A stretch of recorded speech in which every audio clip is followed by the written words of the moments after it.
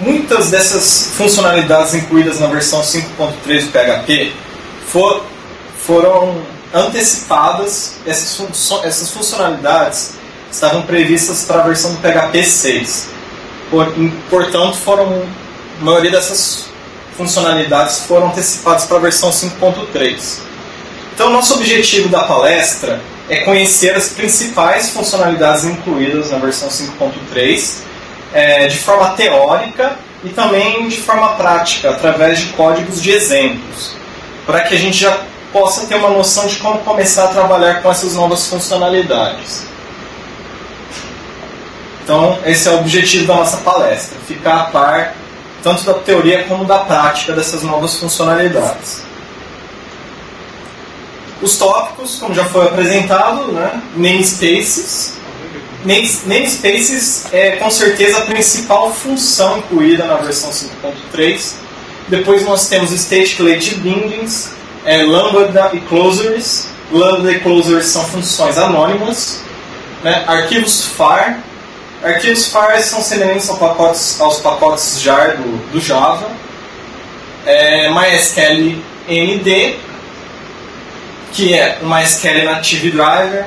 Agora o PHP já não precisa ser linkado com bibliotecas externas para trabalhar com SQL. E vamos ver outras pequenas melhorias que foram incluídas na versão 5.3. A primeira característica, a primeira funcionalidade que nós vamos abordar aqui é sobre namespaces. O que são namespaces? Através de namespaces, nós conseguimos agrupar é, classes, funções e, e constantes, como se eles estivessem é, grupados em pacotes ou namespaces. É semelhante ao package do Java. Né?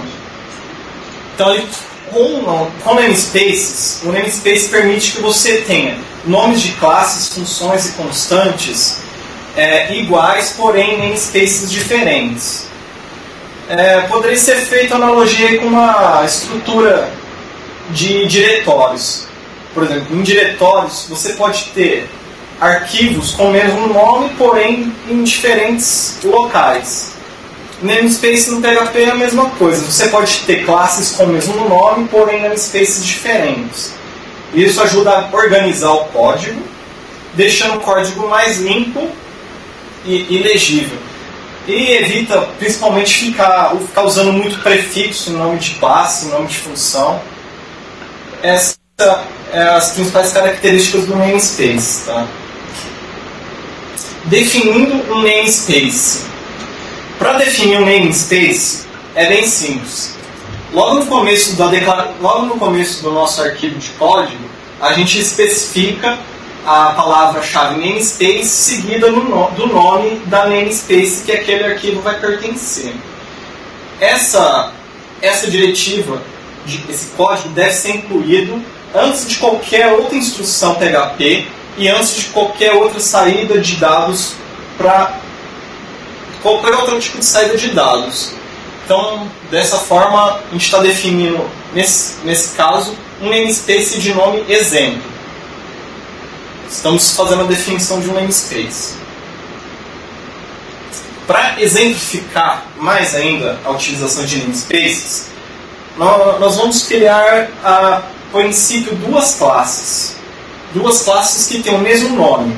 Né? Então, primeiro a gente está criando aqui a primeira classe usuário, que está no namespace blog. Essa classe é, é bem simples mesmo. Ele tem um método setName e um método getName. O setName vai setar um, um nome qualquer para a propriedade de nome e o getNome vai retornar o nome do usuário que foi setado anteriormente indicando qual que é o namespace que está sendo trabalhado. Então, o que nós temos aqui? Uma classe usuário com dois métodos dentro do namespace blog.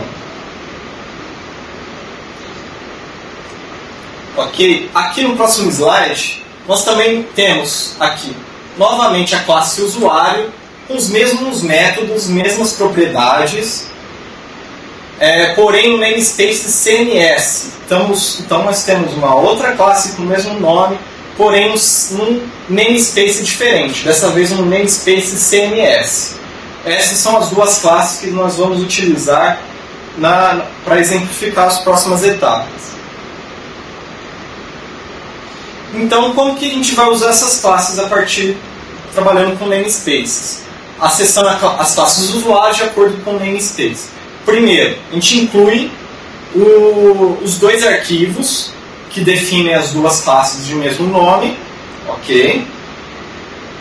Vamos instanciar primeiro a classe usuário que está no namespace blog. Então, na hora de fazer a chamada, instanciar o objeto, classe, nós vamos utilizar o operador new, né, já conhecido. Aí nós especificamos primeiro qual que é o namespace que queremos, queremos instanciar. Para isso, a gente vai usar a barra blog, nome do namespace, barra nome da classe.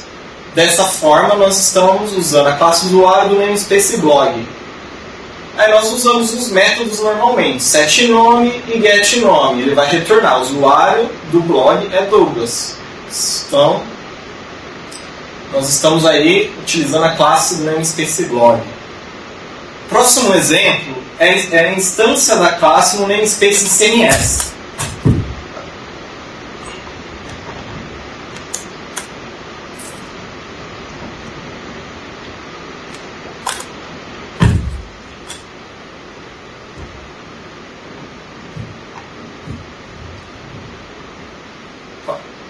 Tá bem? Tá ouvindo? Desculpa aí, pessoal, caiu aqui o microfone.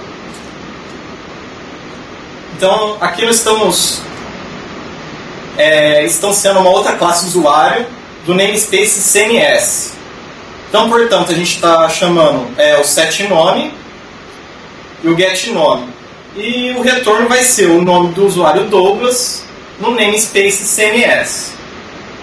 Então, portanto, aí nós estamos separando as classes de mesmos nomes em, em namespaces diferentes.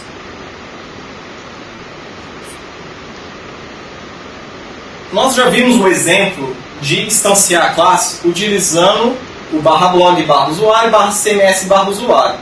Esse tipo de chamada é, é conhecido como nome qualificado absoluto, ou FQN. É, nós estamos especificando como se fosse o path absoluto da classe mesmo que a gente está chamando, que é o Full Qualifier Name. Nome não qualificado. Vamos supor que a gente já tenha dentro do arquivo, a gente já esteja trabalhando dentro do arquivo, dentro do namespace blog. Portanto, se a gente instanciar a classe usuário dentro de um arquivo que já está trabalhando com o CMS blog, por padrão, ele já vai instanciar a classe dentro do, dentro do namespace blog. Então, o detalhe aqui é que eu não precisei especificar qual que foi o, o, CME, o namespace que vai ser utilizado para aquela classe. Por quê? Porque o meu nome de arquivo já tem definido que é o namespace, que é o namespace blog. Então, dessa forma, ele já faz é, a interpretação de acordo com o namespace que a gente está trabalhando. Então, essa é uma forma de chamada de instância de classe chamada não qualificada. O próximo forma de chamar namespace, instanciar um objeto com namespace, é, é o modo relativo. O que é o modo relativo? É quando a gente, a gente especifica a instância da classe usuário, aqui a gente está especificando o namespace block, só que aqui aqui no começo está faltando uma barra. Ou seja, então a gente não está partindo da, a partir da raiz para especificar o namespace.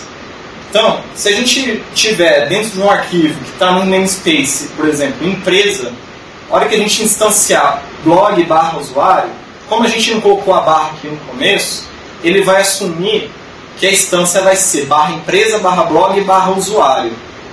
E dessa forma vai gerar um erro porque não existe uma classe usuário nesse namespace. Tá?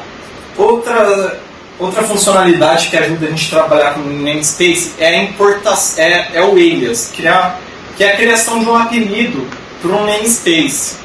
Qual que é o objetivo? Fazer com que a gente tenha um nome mais curto para referenciar um namespace que está numa hierarquia grande.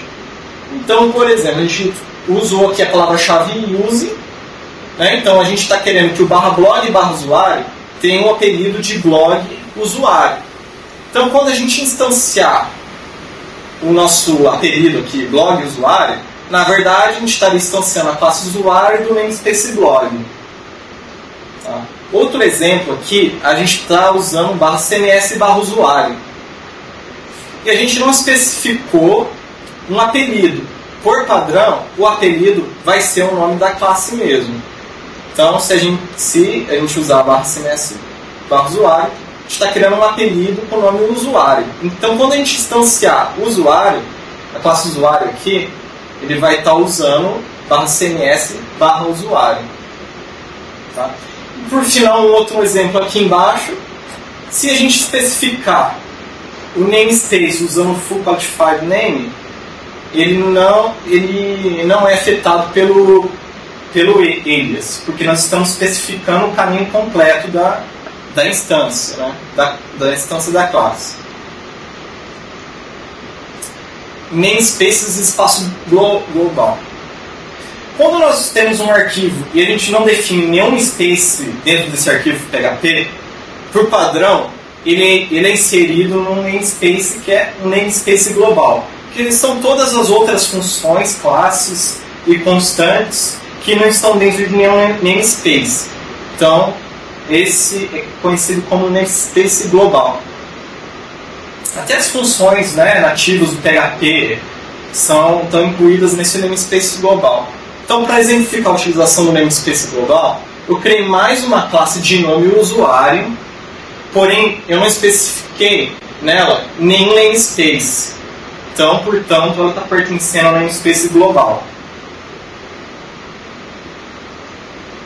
Para referenciar que a gente quer chamar uma, uma classe que está no namespace global, a gente simplesmente, na hora de instanciar o objeto, usa a barra como um prefixo, a barra e o nome da classe. Nós não especificamos nenhum namespace.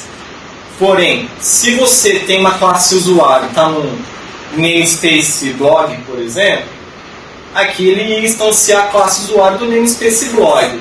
Quando a gente colocou essa barra aqui no começo, esse prefixo, ele está instanciando a classe usuário do namespace global.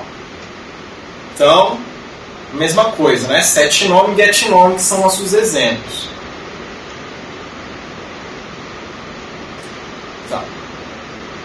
A gente está dando bastante exemplo de classe, né? Para trabalhar com namespace. Mas os namespaces, elas funcionam também com, em funções e constantes.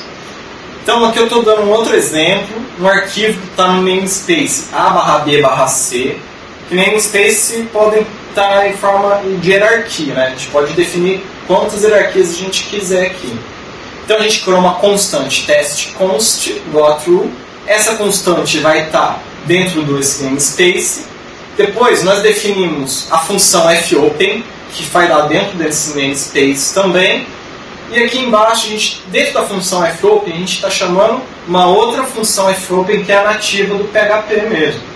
Então, como a gente já tem a função FOP, a gente fez um escape para forçar a chamar a função nativa que está no espaço global. Então aqui é mesmo para exemplificar que a gente pode trabalhar tanto com funções como com constantes junto com namespaces.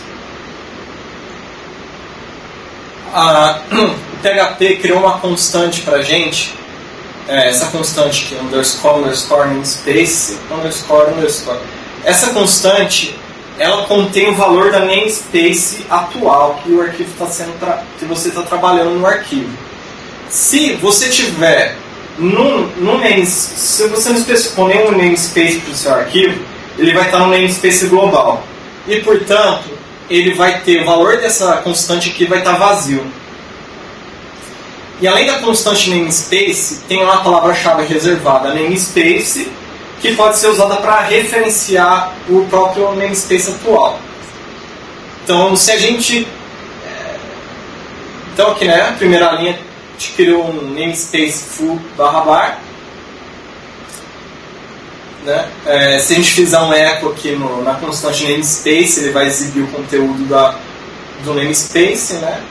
E aqui a gente tem a palavra-chave reservada namespace que serve para referenciar a namespace atual. Poderia ter omitido simplesmente isso daqui, chamado só func, ele já estaria no mesmo namespace. Mas é uma, é uma, uma palavra aí que reservada para que contém o valor da namespace atual também. Múltiplos namespaces no mesmo arquivo. PHP permite que você trabalhe com múltiplos namespaces no mesmo arquivo. Não é aconselhável a utilização de múltiplos namespaces no mesmo arquivo, pelo fato do namespace já ter sido criado para ter separar as coisas, né? deixar uma forma mais organizada de trabalhar. Então, se começar a colocar muito namespace dentro do mesmo arquivo, vai acabar tendo alguma confusão. Você pode acabar criando um código que fica confuso de, de manter. Então, para você trabalhar com vários, mas é possível, né? Trabalhar com múltiplos namespaces no mesmo arquivo. O que, que você vai fazer? Você vai, você vai chamar o namespace e o conteúdo desse namespace você coloca entre chaves, tá? Então, primeiro que primeiro bloco vai estar no namespace projeto blog, o segundo que vai estar no projeto CMS e esse terceiro não foi especificado nada, ele vai estar no namespace global. Esse conteúdo aqui vai estar no namespace global. Existe a outra forma de trabalhar com múltiplos namespaces no mesmo arquivo, simplesmente sem utilização de chaves. Você pode omitir a utilização de chaves. Só que você, sem utilização de chaves, você não consegue criar um namespace global. Tá?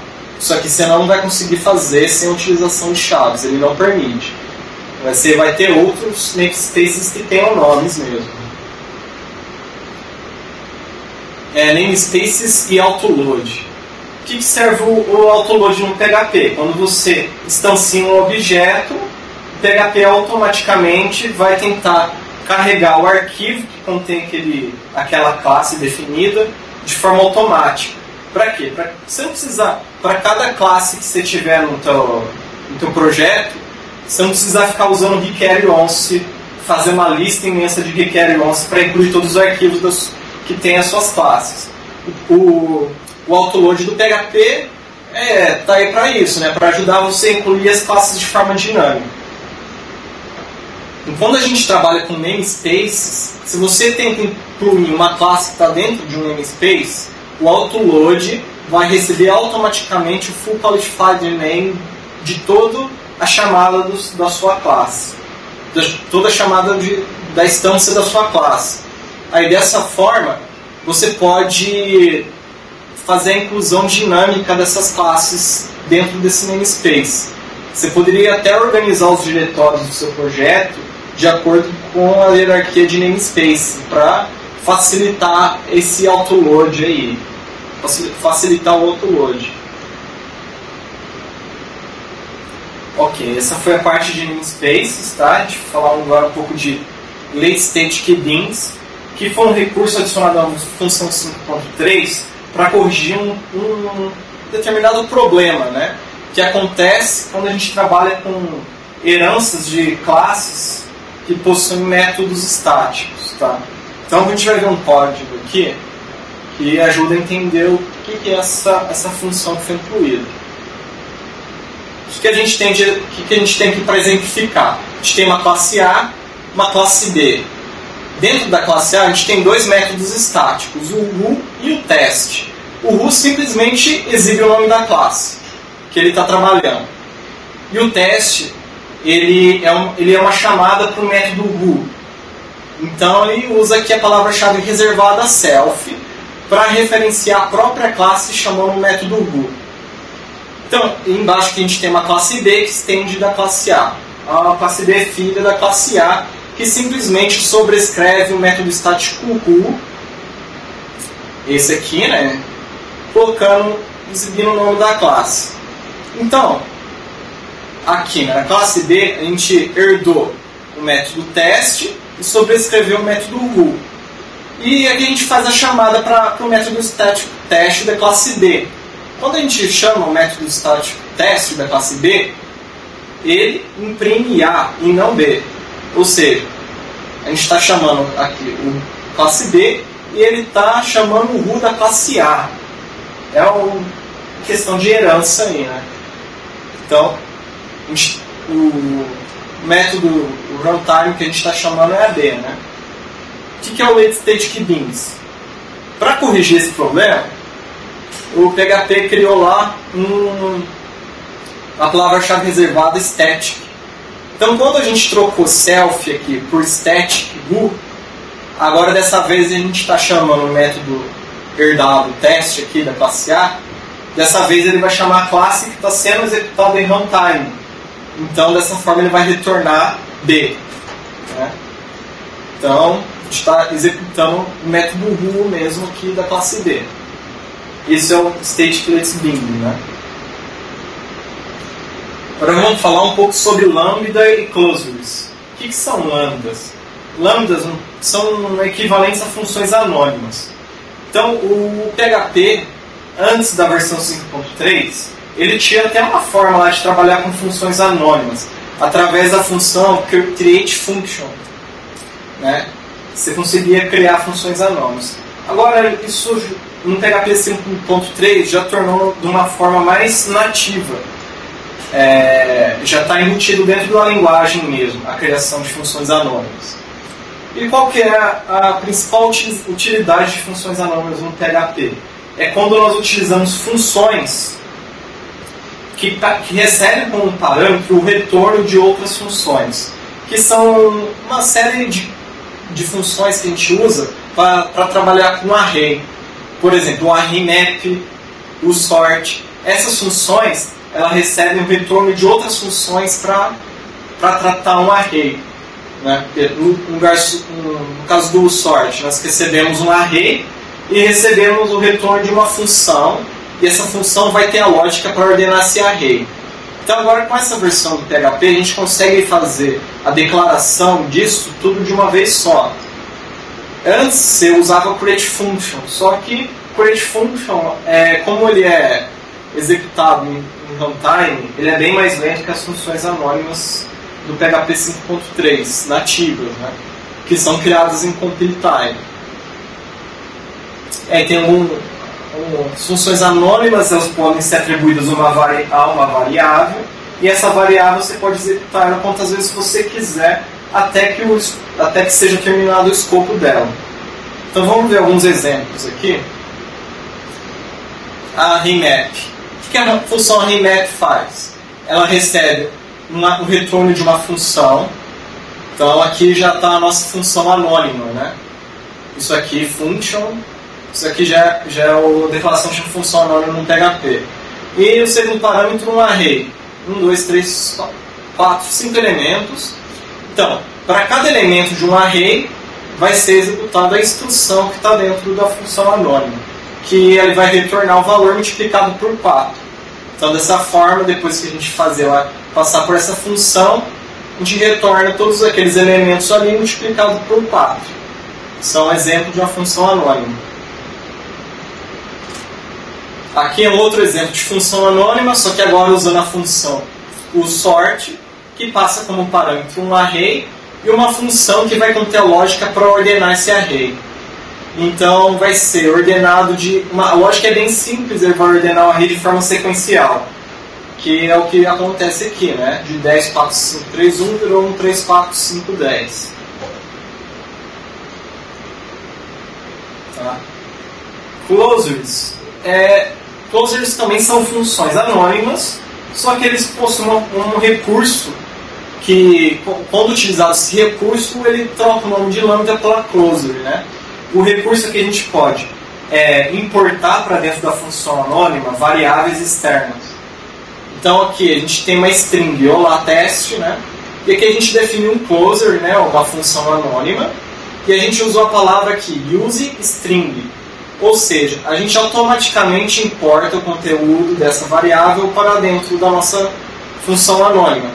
Então aqui eu chamei diretamente a função, ela foi atribuída uma variável, né? E aqui eu chamo simplesmente a função closer e ele vai exibir o conteúdo da string que está externo. Eu nem precisei passar parâmetro nenhum aqui, ele já fez a importação por aqui. Por padrão, a importação é, feita, é, é passada por valor. Ou seja, se você alterar a variável dentro da função anônima, não vai ter efeito nenhum. Agora, se a gente quiser que a função, o valor da, da variável seja passado por referência, a gente usa aqui o e-comercial. Né? Então, se a gente modificar a variável aqui dentro, ela vai ser modificada externamente também.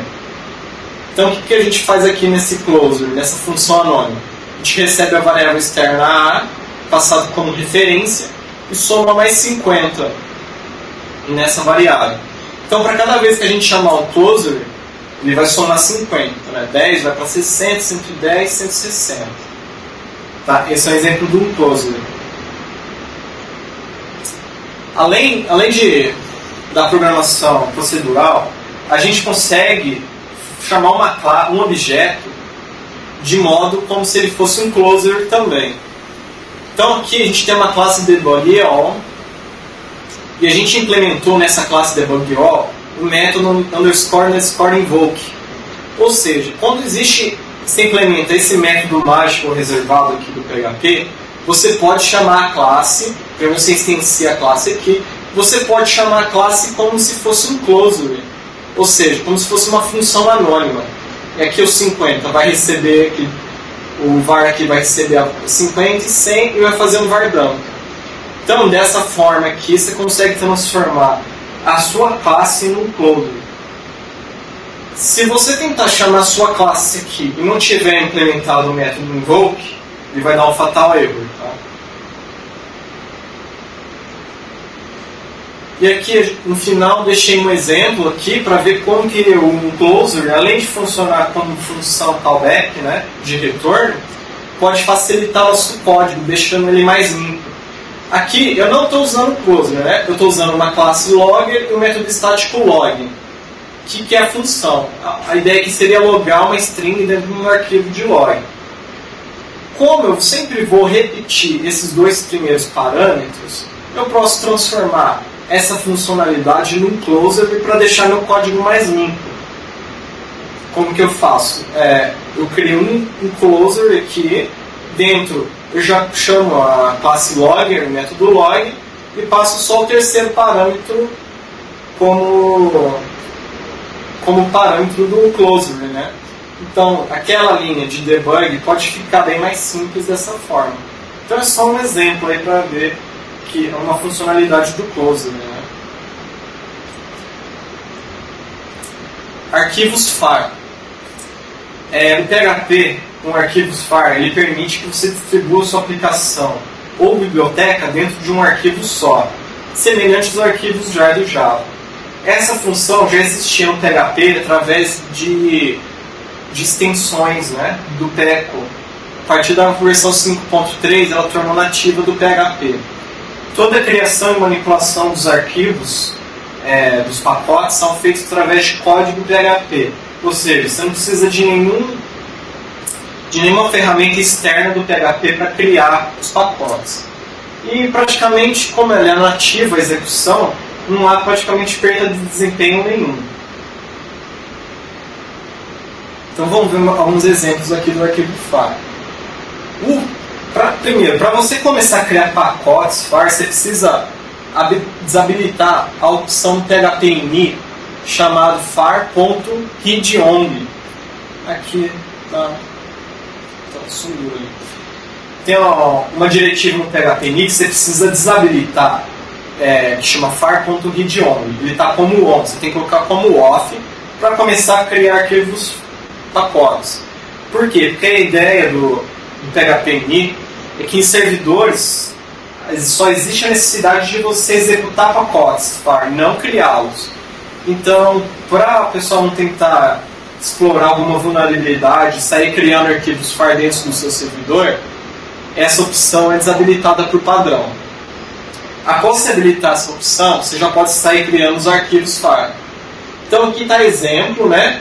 Eu vou criar um pacote e vou adicionar todos os arquivos dentro desse pacote.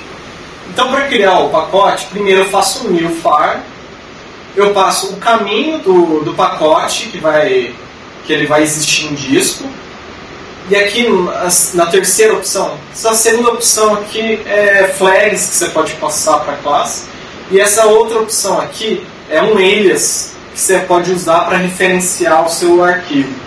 Tá? Depois, você executa um start buffering. O que o start buffering vai fazer? É, a partir daqui, os comandos que você passar para o objeto far, ele, ele vai ficando num cache. Quando você chamar o stop buffer, ele executa tudo de uma vez as instruções que você mandou. Ele não vai executando um a um, para ter um melhor desempenho. Né? Então, qual que é a intenção do nosso, do nosso pacote? Adicionar arquivos PHP nele, ou outros tipos de arquivo. Então, tem várias formas de adicionar arquivos dentro do pacote. A mais simples é o add file. O add file você simplesmente passa o nome do caminho completo do arquivo que você quer incluir. Tá? Você tem um segundo parâmetro opcional, que vai ser o caminho do arquivo dentro do pacote, que pode ser diferente do caminho do arquivo que está dentro do seu sistema. Você pode incluir arquivos chamando o objeto far como se ele fosse um array, que ele implementa uma, uma classe do STL, né, do, do PHP. E aí você pode incluir diretamente como se fosse um array. O índice do array é o nome do arquivo, e aí você passa o conteúdo de um arquivo usando get contents ou você especifica o conteúdo do arquivo diretamente através de uma string. Tá? Bom, tem tudo bem, mas vamos supor, ah, eu tenho um projeto inteiro que tem dezenas de arquivos lá dentro do meu projeto. Eu não vou ficar incluindo um a um. Para isso, ele tem alguns métodos que ajudam você a incluir arquivos de forma hierárquica.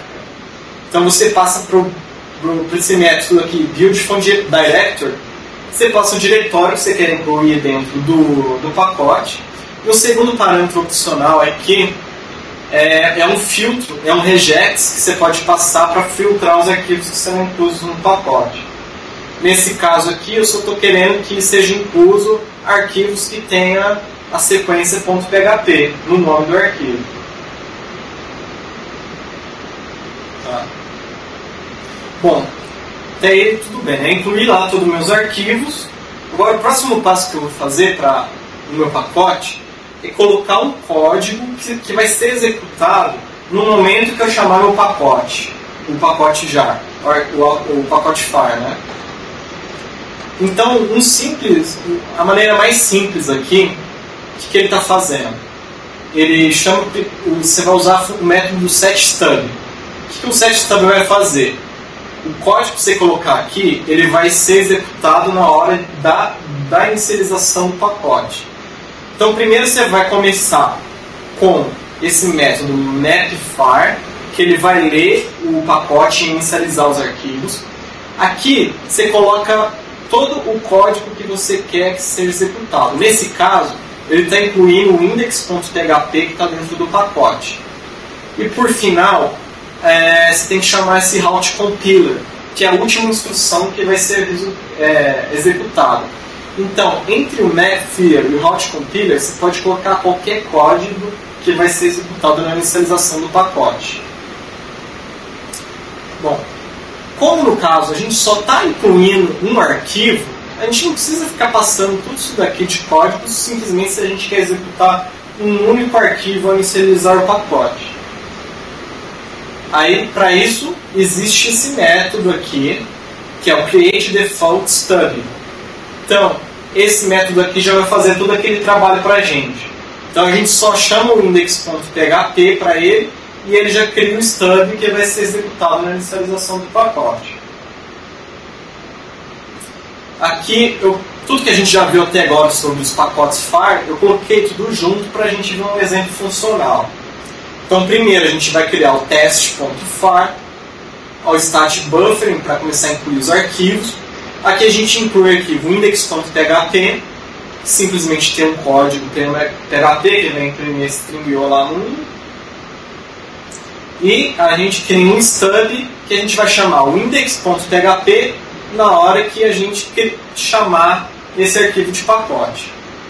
No final, depois que a gente chama o stop buffering, ele simplesmente vai é, executar todos os comandos que a gente passou depois do start buffer. lá então, vamos ver aqui chamando esse pacote através da linha de comando do PHP. Primeiro, a gente chama o create, criar test far, que ele vai criar esse pacote, test.far, e depois a gente chama o pacote que foi criado. Chamando ele diretamente, ele vai executar o que estava lá no stub, que é o index.php, e ele vai colocar string olá mundo. Existem outras formas de chamar o pacote. Além da gente estudar pela linha de comando, o Command Line Interface, a gente pode incluir o arquivo diretamente no nosso código PHP através do include. Dessa forma aqui que a gente está fazendo, esses dois exemplos são distintos. Um funciona sem o outro. O primeiro aqui está incluindo todo o pacote par. O que vai acontecer aqui? Ao incluir esse pacote, ele vai chamar o stub e vai executar o index PHP. Ou a gente poderia incluir diretamente dentro do pacote qualquer arquivo. Aí dessa vez ele está passando, dando um bypass lá no stub. E aqui a gente poderia colocar qualquer arquivo que está dentro do pacote FAR. Então se a gente distribuir uma biblioteca, um pacote dentro do, desse teste.far, qualquer arquivo que tiver ali dentro a gente pode estar incluindo diretamente com o include.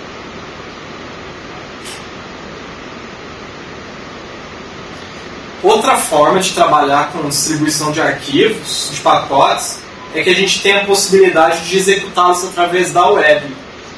Então, a gente pode criar nosso pacote, o exemplo par, pegar esse pacote e jogar lá no, no servidor web e distribuir nossa aplicação para ser acessada na internet.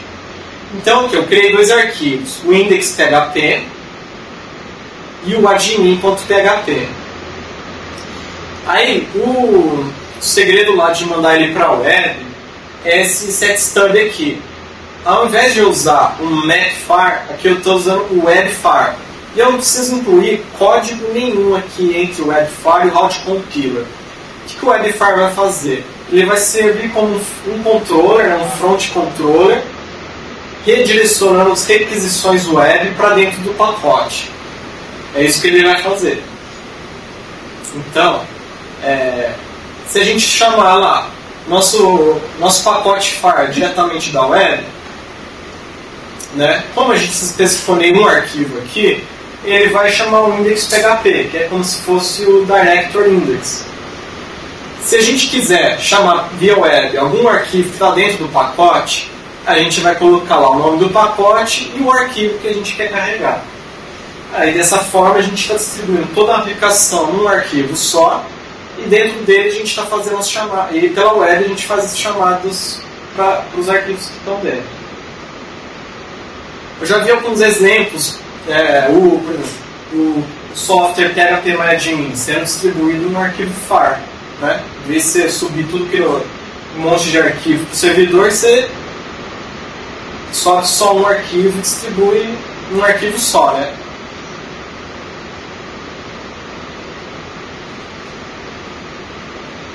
Agora vamos falar sobre uma outra funcionalidade importante incluída, foi o MySQL Native Driver.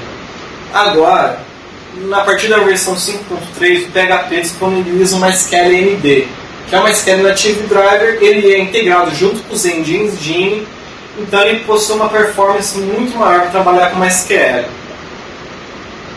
E ele funciona a partir das versões 4.1 do MySQL, que já é bem antigo, então as versões recentes do MySQL funcionam normalmente, né? Ele é uma alternativa para a extensão libmysql.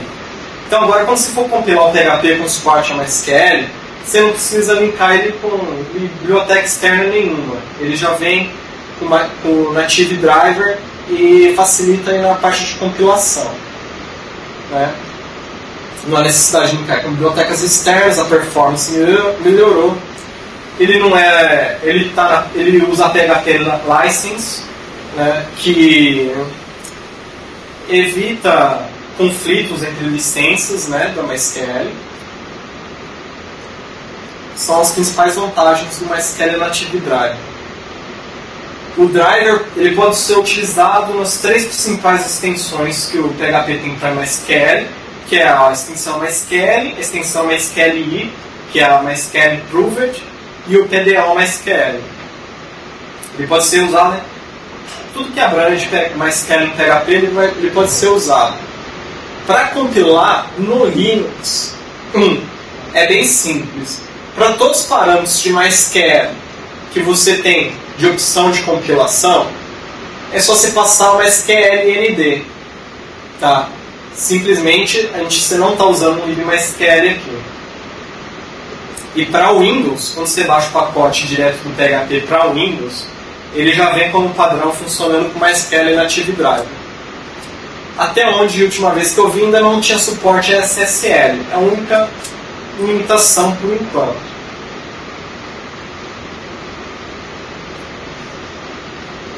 Vou falar aqui de das outras pequenas melhorias que foram incluídas no PHP 5.3. Tá? Novas funções. É, novas funções estão aqui. Cortou uma coisa. Ó, é, é função aqui é getOffset, tá? Que cortou. É, error levels, é, funções deprecated, funções que serão descontinuadas, e novos error levels que foram criados. Um, o método static, o método mágico call static, variáveis estáticas, algumas no... destaquei aqui algumas novas funções que foram inclusas.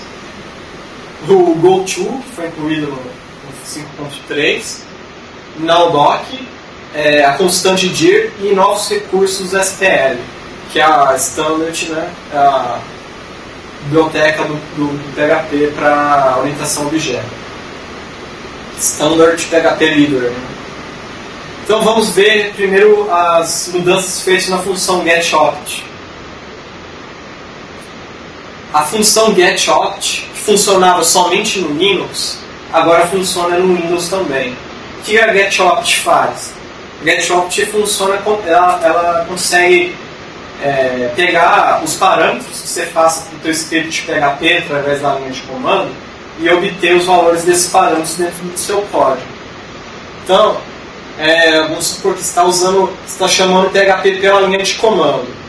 Aí está passando o valor daqui, menos i, e um, e um argumento, você está passando um parâmetro a função getOpt serve para você identificar esses valores que foram passados como, como parâmetro argumento para o seu script. Além da funcionalidade que agora está no Windows também, que antes não tinha, você pode usar o caractere igual de atribuição para os seus parâmetros. Antigamente, só poderia deixar aqui, você podia passar menos i, espaço, valor teste 123 você não podia usar o valor de atribuição igual. Agora você pode. Outra opção agora é que o parâmetro passado ele pode ser opcional. Você não é obrigado a definir um valor para esse parâmetro. Então são essas duas principais funções foram adicionadas. Foram melhoradas né, no GetObject. Error levels. Agora, os error levels do PHP, o EAL né, que é o que engloba tudo, antigamente ele não incluía o strict, agora ele inclui o strict. O strict serve para te dar dicas no estilo de programação que pode evitar alguns bugs que podem acontecer. Outros erros leves inclusos foi, foi deprecated, que ele indica funções que serão descontinuadas em futuras versões do PHP. Alguns exemplos, quando você tentar usar, por exemplo, o ereg, ereg replace, split, register globals, ao tentar usar essas funções, ele vai lançar um error level falando que essa função é, não é conciliável porque ela vai ser descontinuada das próximas versões do PHP. Outra melhoria é o callStatic, que é um método mágico usado em classes do PHP ele é semelhante ao método call, que, porém, só cria para métodos estáticos. O que esse método call, esse método call static, né, chama método mágico, o que, que eles fazem? Quando você tem uma classe, por exemplo, uma classe teste, e você instancia essa classe, tudo bem. Aí você tem o objeto dessa classe, e você chama um método que não existe, automaticamente o PHP verifica se você tem implementado esse método mágico call chamando ele passando nome e argumentos. O call static é semelhante ao call, só que ele funciona para métodos estéticos, estáticos. Então eu tenho uma classe teste e tá, eu fui usar minha classe teste chamando o método estático função. Passei A, o parâmetro A e o parâmetro B. Dentro da minha classe teste não existe o método estático função. Então ele vai procurar se existe o método mágico call static, que é usado para tratar métodos que não existem. Aí ele vai, então como existe, então vai ser chamado o método call static, o nome do método estático e os parâmetros que foram passados para ele. Os parâmetros como array, né? Então ele simplesmente vai exibir o nome do método e o nome dos argumentos passados. E vai resultar nisso daqui, né? Função A, vírgula B.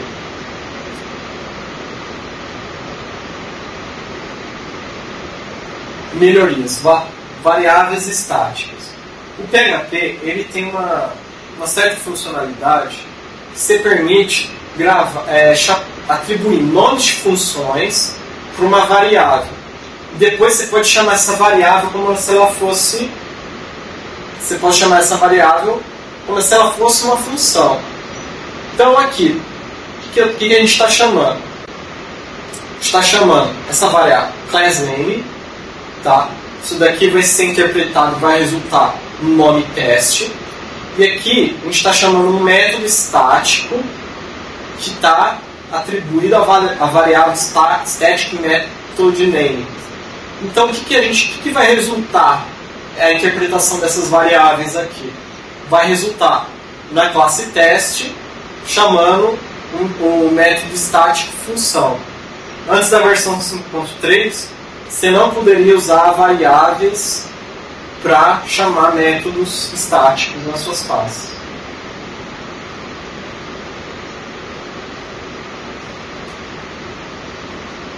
Destaquei aqui duas, duas funções é, interessantes né, que foram incluídas no, no PHP 5.3, que é o Array Replace e Array Replace Recursivo.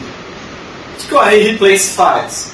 Ele simplesmente recebe como parâmetro um array base, tá? que aqui a gente está usando um array base com esses quatro elementos, e um segundo parâmetro com um array, um, array que tem um conteúdo que você quer substituir, referente ao primeiro array. Então eu passei aqui é, o que eu quero substituir, o índice zero, que no caso aqui o, do primeiro array o índice zero é laranja, então eu vou substituir abacaxi por laranja, e aqui eu coloquei o índice 4, morango. Só que no nosso array vai ter o índice 3. 0, 1, 2 e 3. Portanto, a hora que eu efetuar o comando, ele vai jogar o morango lá para o final, resultando num array de 5 elementos. E o array replace recursive tem a mesma funcionalidade, só que ele trabalha com, de forma recursiva em arrays recursivos.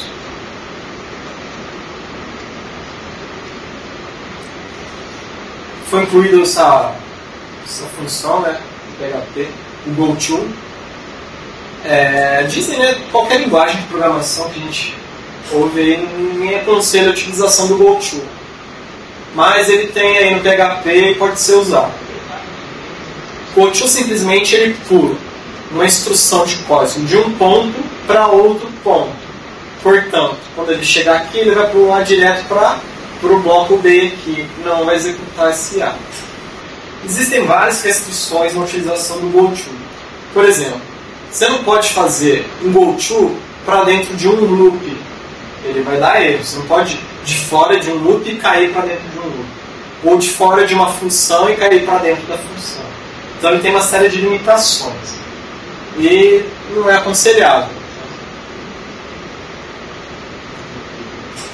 é, outras melhorias agora, é o Nowdoc. Antes do PHP 5.3, a gente tinha aqui o HereDoc. O que é o HereDoc? É uma forma de atribuir uma string a uma variável. Então, o que, que, o, que, que o bar aqui vai receber? ele vai receber todo esse conteúdo aqui até, até encontrar o, a palavra-chave código PHP, que foi definida aqui. Então, o que, que acontece aqui? Quando a gente quer definir uma string que tem várias linhas, tem múltiplas linhas, a gente pode usar essa funcionalidade. A gente começa menor, menor, menor o código, aí tudo que tiver embaixo, até encontrar esse nome aqui no seu código, ele vai atribuir a variável bar. Porém, se você tem é, variáveis do PHP dentro desse bloco, ele vai fazer a substituição. Ah, então aqui no caso, variável vai virar teste. É como se você estivesse usando aspas duplas para definir uma string no PHP. No PHP 5.3, eles criaram o que chama de nowdoc. Agora, você pode usar é, dessa forma que atribuindo a bar a string de forma literal. Ou seja, não vai ser feito a interpretação aqui da variável. Ele vai ser tratado literalmente. Qual é a diferença desse daqui para esse? Simplesmente as aspas simples. Tá? Quando você usa aspas simples aqui no nome, ele está tratando como se fosse um null doc e não como um here doc. A constante dir. Foi criada essa constante PHP 5.3 para indicar qual o diretório atual do script. Então, o, quando você faz um echo underscore underscore dir, underscore aqui, ele vai exibir o nome do diretório do script que está sendo executado atualmente. Antes do PHP 5.3, você poderia usar o a função dirname e passava a constante file. O que era a constante file? é o caminho completo do arquivo que você está trabalhando. É o diretório mais o nome. Constante dir simplesmente é só o nome do diretório do script que você está trabalhando.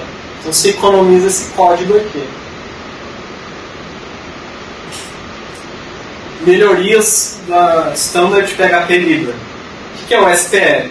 SPL é, foi incluído a partir da função do PHP 5 que é uma série de interfaces e classes que ajudam a resolver problemas comuns relacionados uma orientação objeto. Então, é uma série de patterns, né? E foram incluídas diversas novas classes interfaces PES em PHP 5.3. Não vou entrar em detalhes aqui, só citei algumas principais que foram incluídas. E deixei um link aqui para que é um, é um slide né, que tem em detalhes de como funcionam essas novas bibliotecas STL ou o próprio php.net.